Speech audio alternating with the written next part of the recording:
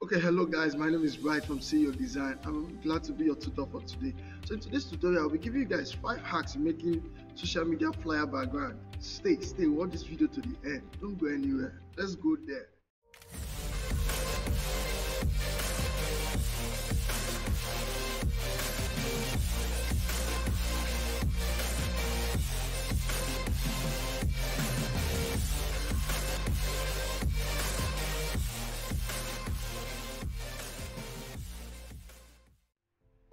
Tutorial is for you out there um i've seen people struggle so much with making background just for a design. You can see some people spend over five hours just to make a background. For how much? Okay so that is why this tutorial is coming with these five quick hacks you can go from five hours of making a simple design to 20 30 minutes of making that same design. Trust me you'll see it happen right here okay for the first tip i'll first of all create my gradient. Create my gradient. Um, these are default gradient in, on photoshop cc 2020 let me just go with this one. Then secondly i will introduce an image i want to blend in. Okay let me go with this liquid commit. Then i come to my blend mode. And choose a blend mode that really gives me what i want. Okay for this multiply. I like multiply then thirdly i i go to Gaussian blur and just blur it out a little bit a little bit. Okay i think i'm satisfied with that. Now introduce the man and the text.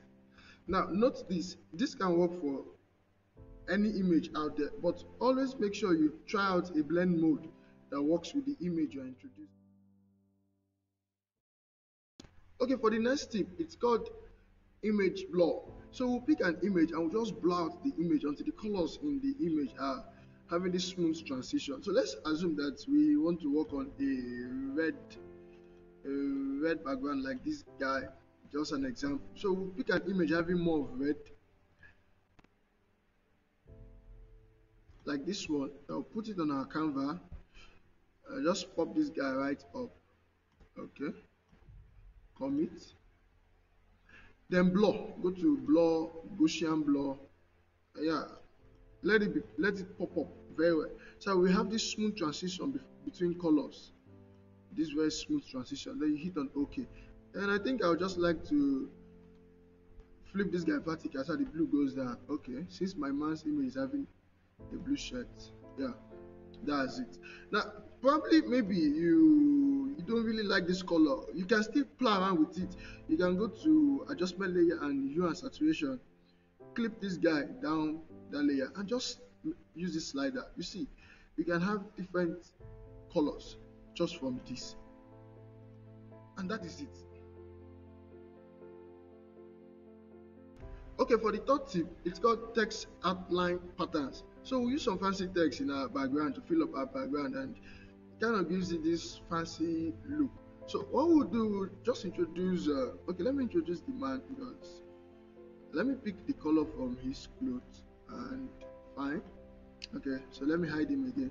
So i'll just write a text. Since we are talking about social media let me just write social social. It could be your your brand name it could be whatever. If it's um, monday thank god it's friday whatsoever so um then i'll go to fx click on blending option. Then in this blending option i come to this field opacity and just take that guy to zero completely zero. Then come to stroke give it a white stroke and the size of 3 3 pixels then hit on ok. All right now i transform this guy come to the top just stretch out this guy across our canvas like this.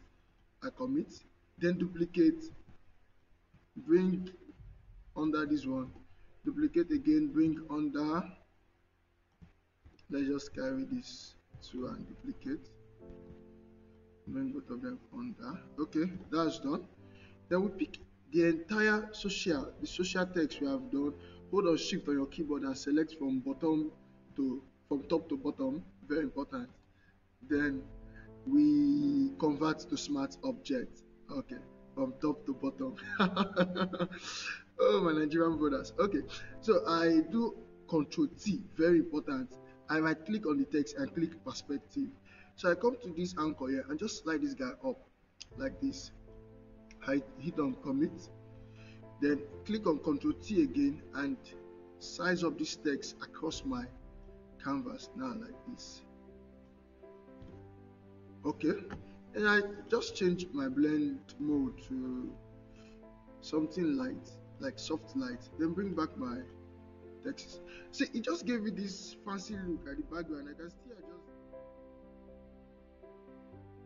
Okay, for the fourth tip, it's actually called custom shape patterns. So we'll create a custom shape and we use it to make a pattern on our background very fast. So the shape I'm making will be a round shape. Just pick your ellipse tool, then just create this perfect circle. Give it a color. Just pick a color. Just let's just pick a color around this man. A very light color. Okay. Then create another circle at the center of this one. Okay. Just give it a different color. It's a different color.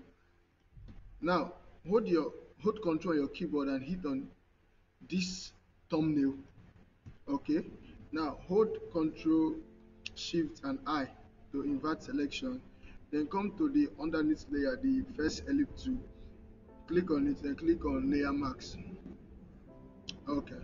So delete this one. Fine. Now control t to transform. Bring here. Just stretch stretch it out.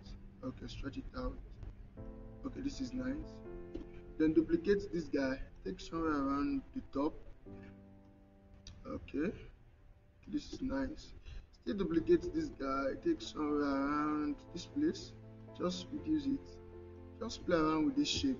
Duplicate this guy. Take around this place. Still reduce it.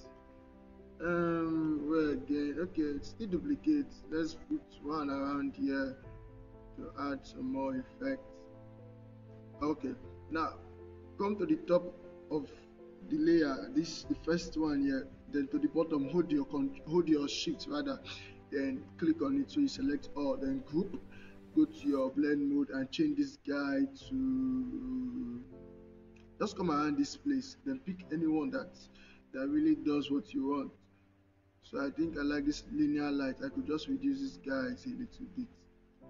Okay then bring back my text so it just give this guy something fancy behind we did this shape ourselves in less than two minutes and it's giving our background something something very very nice. So for the fifth and final trick for this uh, flyer background it's called round brush glow round brush glow so we're, we're actually playing with our brush tool the soft round brush tool for this trick. So let's just create a background first uh, I've not used any green for this tutorial today. So let me just use a green okay. Okay fine. Now I create a new layer. I choose my brush I pick my brush tool by pressing B on my keyboard or whatever. Then I click on this foreground color sorry foreground color. Pick this guy here. Then just take this guy up. The trick is to get a lighter color so it just glows. Yes a lighter color that glows okay. Okay. Now hit on ok now you could leave this guy on 100 or just reduce it a little bit. Just keep like 90 95 okay for opacity and flow. Then make sure your hardness is on zero. Now come to this bottom. Just drop paint your brush there. Okay. You could come around this side and paint your brush there. And probably at this top just paint your brush there.